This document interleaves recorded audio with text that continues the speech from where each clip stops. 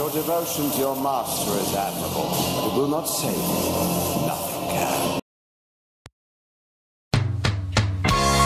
How you doing? This is Shirley Q. Liquor. Sit down, smoke a cigarette, take a load off your feet.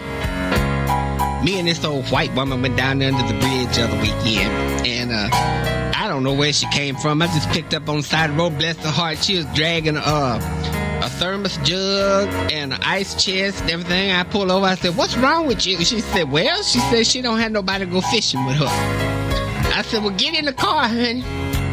So me and her drove up on that bridge.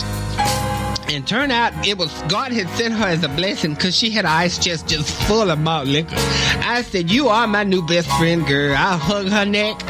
And um, me and her were sitting up there discussing things. You know, we discussed President Clifford and the impeachment process and uh, the floods and the waters and uh, our bowel movements and everything. It was very honest give and take. I would say I made a new friend. So I just want to give the message, you know, reach out and touch somebody.